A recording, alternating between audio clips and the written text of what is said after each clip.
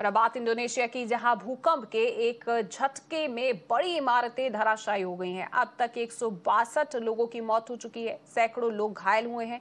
भूकंप की तीव्रता पाँच दशमलव छह रही है और भूकंप ने इमारतों और दीवारों को गिरा दिया।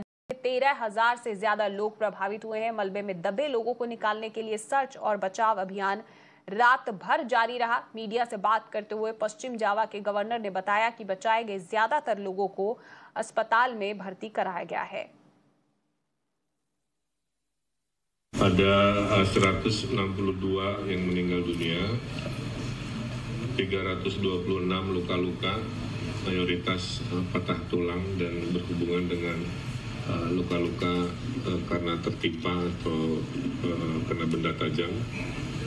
13.784 pengungsi